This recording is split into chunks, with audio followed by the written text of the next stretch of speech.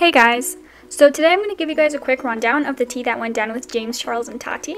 So the drama began when James promoted Sugar Bear Hair Care, a competitor of Tati's on his Instagram story, which clearly hurt Tati very much because they were really close.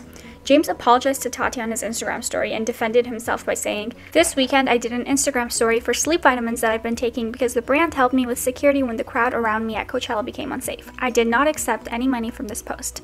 In her new video entitled Bye Sister, Tati basically exposes all the different ways she's helped James in the past. James has lost 3 million subscribers since then. Here's a quick summary of what she had to say. She said James texted her after he did the Sugar Bear hair ad, trying to brush it off as no biggie, which is very typical of James to do. She acknowledged Gabriel Zamora's comments about her and says that they are and never were friends. But we aren't friends. We don't hang out. I don't have his phone number. We don't chat, DM, talk, none of that. There's no relationship. She was really hurt about him minimizing her pain and stated that that was so not right on so many levels. Now, moving on to James, she says she does not agree with a lot of stuff going on with him right now. Fame, power, and a fat bank account will change almost anyone. And if you don't have people that will tell you to your face that you're doing the wrong things, you will change. And I tried to be that person for you, James. I really tried. I don't think there's any getting through to you, and I don't want to be friends with you. I don't want to be associated with you. And I need to say that very publicly so that this chapter can just be closed. It would have been one thing if he had sincerely apologized to her about the situation, but he apparently responded very insincerely to her, only to protect his brand. She soon realized that he had been talking to multiple drama channels for damage control. And she goes back in time and talks about how she supported him during his many scandals. This was prior to CoverGirl, so she really helped his channel jumpstart. And I was constantly like, You're talented, you've got this, keep going.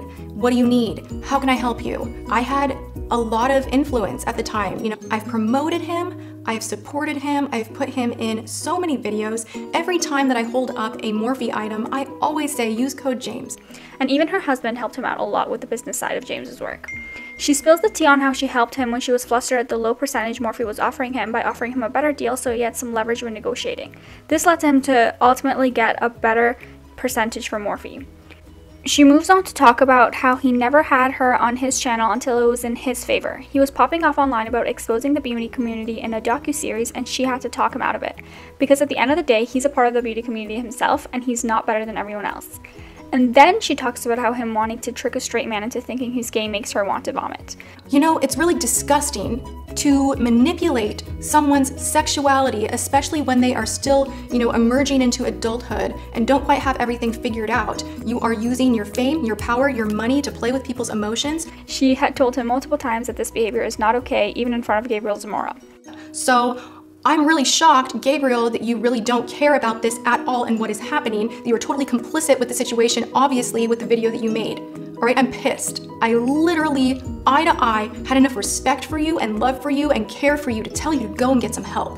I told you that this was not good and that you could have your career completely destroyed.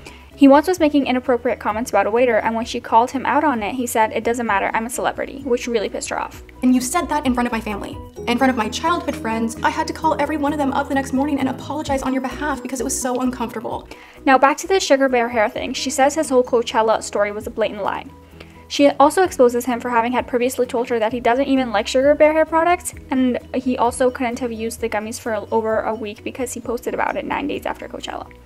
You went to Coachella, somehow had a security issue, and magically Sugar Bear Hair is there with a contract in hand to save the day for you and all of your friends.